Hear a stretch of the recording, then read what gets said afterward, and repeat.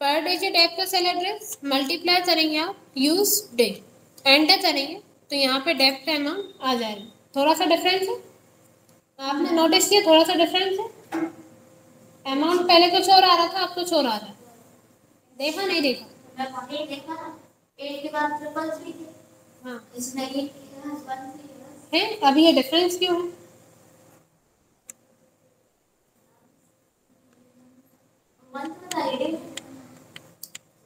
तो दस महीने यूज़ किया है। यूज़ तो डेट तो वही लिखी है ना। पहले भी अपन एक फरवरी को खरीद रहे थे और एक दिसंबर को बेच रहे थे। तब मंथ था अब डे है तो डिफरेंस क्यों है?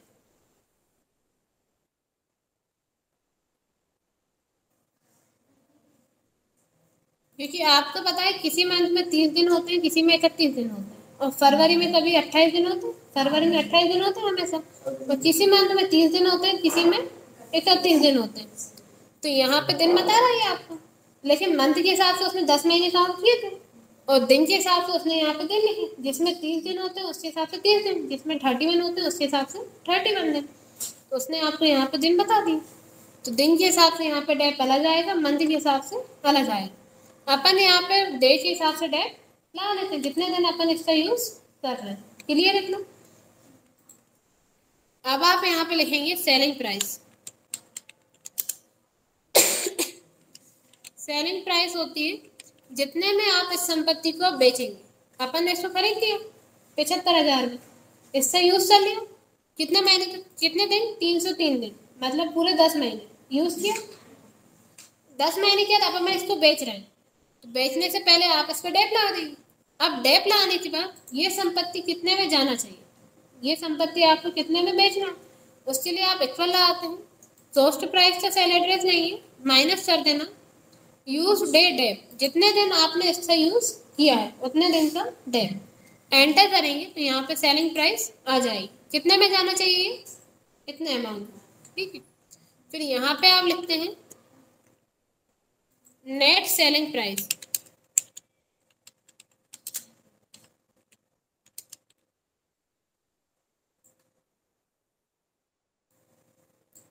यहाँ पे आप लिखेंगे नेट सेलिंग प्राइस अब नेट सेलिंग प्राइस क्या होती है? आप इस संपत्ति को बेचना चाह रहे हैं इतने में। ठीक है? लेकिन जो सामने वाला पर्सन आपसे ये संपत्ति परचेज कर रहा है, वो आपसे बोल रहा है कि हम ये संपत्ति आपसे सिक्सटी फाइव थाउज़ेंड में लेंगे। कितने में ले रहा है वो आपसे? सिक्सटी फाइव थाउज़ेंड में। ये क्या हो जाएगी? नेट सेलिंग प्राइस जितने में सामने वाला पर्सन आपसे ये संपत्ति खरीदने के लिए तैयार है, वो क्या हो जाएगी? नेट सेलिंग प्राइस मतलब जितने में आपकी संपत्ति अभी जा रही, कितने में जा रही? जाना कितने में चाहिए? इतने में, लेकिन जा कितने में रही? पैंसठ हज़ार।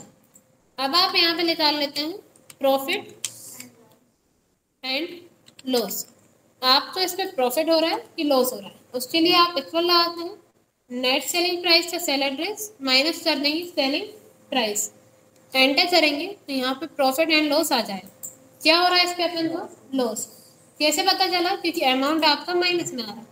अगर ये संपत्ति पैंसठ हज़ार जाए सत्तर हज़ार में जा रही है। तब यहाँ पे क्या हो रहा है? प्रॉफिट हो रहा है। ठीक, अगर माइनस में आ रहा है तो लॉस हो रहा है। प्लस में आ रहा है तो प्रॉफिट हो रहा है। अब इतने में कोई डाउट हो तो पहले पूछ लीजिए।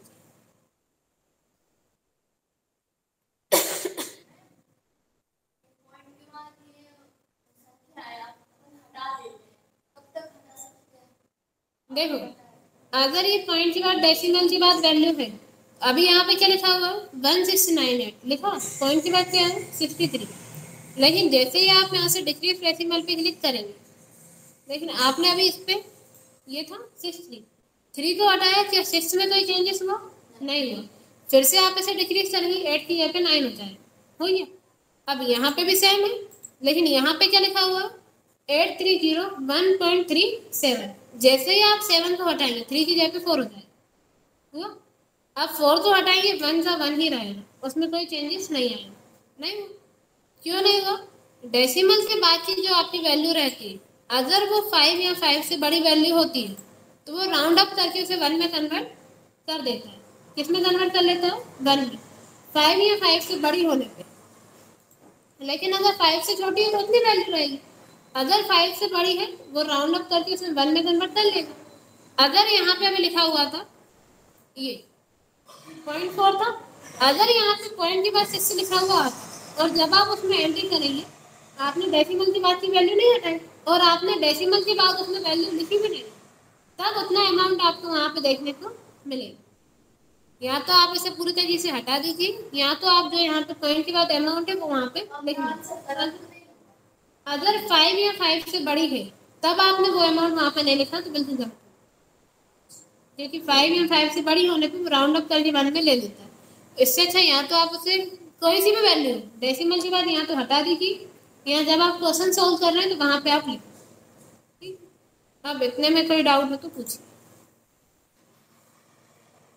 कर लेंगे अब यहाँ पे आप निकालना है इसमें परसेंट हमने कल जो आपको क्वेश्चन दिया था परसेंट में दिया? परसेंट में दिया था, उसमें अपन ने ये सब नहीं लिखा था। ठीक, अब परसेंट आप यहाँ पे क्यों निकालते हैं? अभी अपन इस पर डेप निकाल रहे हैं गारंटी वारंटी के हिसाब से। आपको ये नहीं पता, इस साल इस संपत्ति पे इस साल में कितने परसेंट डेप लग रहा है? नहीं पता। आप क्या करेंगे? परसेंट से साइन लेते हैं।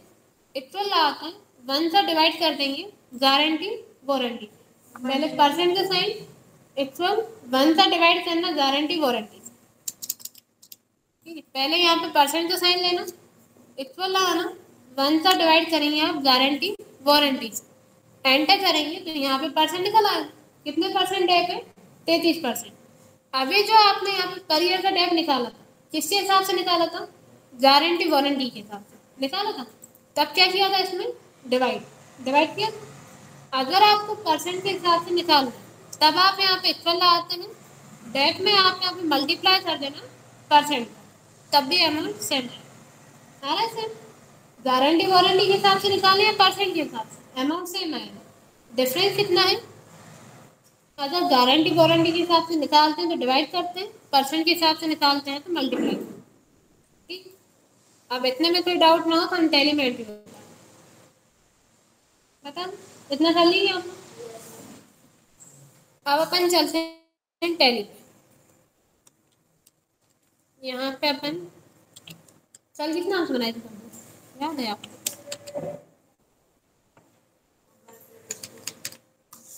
इसे ओपन कर लीजिए ठीक है। आपने यहाँ पे ये कंपनी ओपन की। अपन क्या परचेज कर रहे हैं? फर्नीचर फर्नीचर खरीदने से लेके बेचने तक उस पर हिरास लाने के बाद आपको उस पर चार एंट्री करना रहती है कितनी एंट्री होती है उस पर चार। सबसे फ़र्स्ट एंट्री होती है फर्नीचर परचेज करने की। अभी अपन फर्नीचर परचेज कर रहे हैं, वो संपत्ति कुछ भी हो सकती है। मशीन हो फर्नीचर हो एसेट्रा कुछ भी हो सकता है। अभी अपन क्या परचेज कर रहे हैं? फर्नीचर आप यहाँ पे वाउचर एंट्री पे जाते हैं।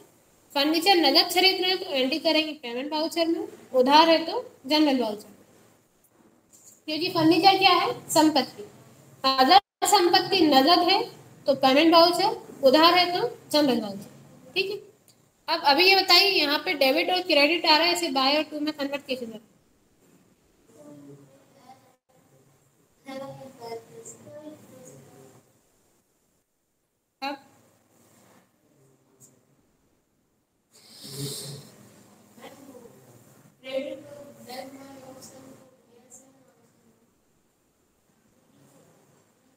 आप एफ़ ट्वेल्व प्रेस करते हैं फिर जो आपको यहाँ पे ऑप्शन मिल रहा है, इसे आप यहाँ पे नो कर देंगे। एंटर करके सेव कर देंगे। तो यहाँ पे बाय और टू आ जाए क्या खरीदना है अपन? फर्नीचर फर्नीचर खरीद रहे हैं तो फर्नीचर आ रहा है केस जा रहा है। नगद है फर्नीचर आ रहा है और केस जा रहा है। क्योंकि कैसे खरीद रहे हैं? नगद अकाउंटिंग का रूल है, जो चीज़ बिज़नेस में आती है, उसे बाय करना है, जो बिज़नेस से जा रही है, उसे टू करना है। फर्नीचर खरीद रहे हैं तो फर्नीचर आ रहा है और केस जा रहा है। बाय में लिखेंगे फर्नीचर। इसमें फर्नीचर का लेजर पहले से बना हुआ है कि कल अपन ने इसमें एंट्री की थी। अगर नहीं बना होता तो आपको अल्टर प्लस सी से बनाना है। और फर्नीचर तो आप अंडर में डालेंगे फिर असेट्स ठीक? फर्नीचर अकाउंट कितने में खरीद रहे हैं अपन इसे? कॉस्ट प्राइस कितनी है? सेवेंटी फाइव थाउज़ेंड अमाउंट कितना डाल देंगे? सेवेंटी फाइव थाउज़ेंड अब टू में क्या आ जाएगा? कैश नगर संपत्ति, टू में क्या आ जाएगा? कैश एंटर करके सेव कर लेंगे अपना। अब आपको इस पर डेप लाना। संपत्ति खरीद ली बेचने से पहले इस पर डेप लाएँ। डेप की एंट्री आप करते हैं एफ़ सेवन से जनरल वाउचर